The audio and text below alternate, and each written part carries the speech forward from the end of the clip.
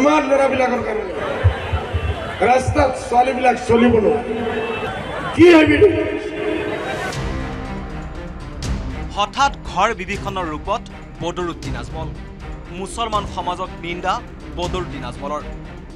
মুছলমান যুৱকৰ প্ৰতি তিৰ্যক মন্তব্য কৰা আজমলে ৰেহাই নিদিলে মুছলমান ছোৱালীসকলকো ৰাস্তাৰে গাড়ী গ'লেই সুহুৰি বজায় মুছলমান ছোৱালীয়ে। পিতৃ মাতৃ অশিক্ষিত হোৱা বাবেই এই অৱস্থা হৈছে সন্তানৰ। শিক্ষা নাই বহু মুছলমান ৰাজনৈতিক নেতাৰো। ল'ৰা ছোৱালী শিক্ষাৰ দিশে আগবাঢ়িব লাগিছিল দুখৰ কথা আফচোচৰ কথা আমাৰ ল'ৰা ছোৱালী পিছকা পিছে থাকে আৰু ক্ৰাইমত ওপৰত থাকে।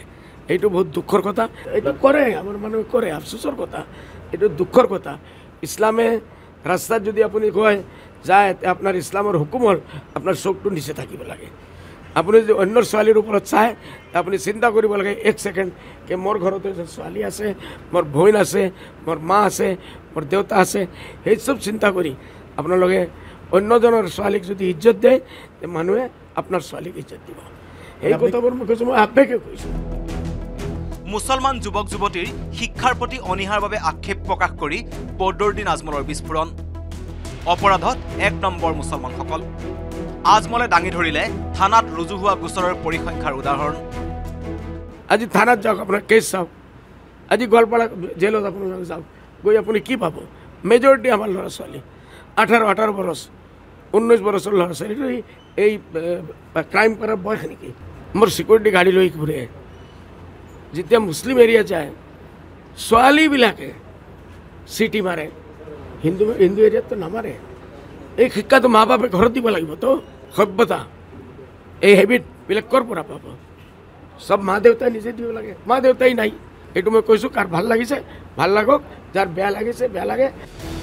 ইফালে মিত্ৰতা সন্দৰ্ভত কংগ্ৰেছক নৎসাত কৰিলেও আশা এৰা নাই বদৰুদ্দিন আজমলে কংগ্ৰেছক একাষৰীয়া কৰি ইণ্ডিয়াৰে এ আই ডি এফৰ মিত্ৰতা হ'ব বুলি দাবী বদৰুদ্দিন আজমলৰ আমি অসম কংগ্ৰেছৰ লগত একো নকৰোঁ। আমি all India I N D I India মহাগঠবন্ধনৰ লগত আছোঁ আৰু আমাৰ ইয়াত আমি এটা জিকো দুইটা জিকো তিনিটা জিকো আমাৰ এতিয়া পাঁচটাও জিকাৰ লাইন হৈ আছে যদি এইটো হয় বাকী দুইটা আমি তাতো দিম হাণ্ড্ৰেড পাৰ্চেণ্ট যদি হয় দিম নহ'লে আমি বিজেপিক সাহায্য নকৰোঁ বিজেপিয়ে পূৰ্বৰে পৰা কৈ অহা কথা আজমলে এতিয়াহে উপলব্ধি কৰিছে বুলি মন্তব্য পীযুষ হাজৰিকাৰ আমিতো বহুত আগৰ পৰা কৈ আছিলোঁ যে মুছলমানত হিংসা হত্যা ধৰ্ষণ ডকাইতি এইবিলাকে বৃদ্ধি পালে বৃদ্ধি পাইছে। এইবিলাক নতুন কথা নহয় তেওঁলোকৰ মাজত যে অলপ চিন্তা তেওঁলোকৰ মাজতে যে এই চিন্তাটোৰ উদয় হৈছে ইণ্টাৰেস্পেকশ্যন হৈছে মইতো সুখী হৈছোঁ। এনেকুৱা হ'ব লাগে যাতে তেওঁলোকৰ মাজতো চোৰ ডকাইত ধৰ্ষণকাৰী নাইকিয়া হয়। কিন্তু আজমল হঠাৎ কিয় মুছলমান যুৱক যুৱতীৰ প্ৰতি ইমান নাৰাজ হ'ল সেয়া বহুতৰ বাবে হৈছে ৰাজনৈতিক ৰহস্য। গোৱালপাৰাৰ পৰা Rinku Das news eighteen Assam north east.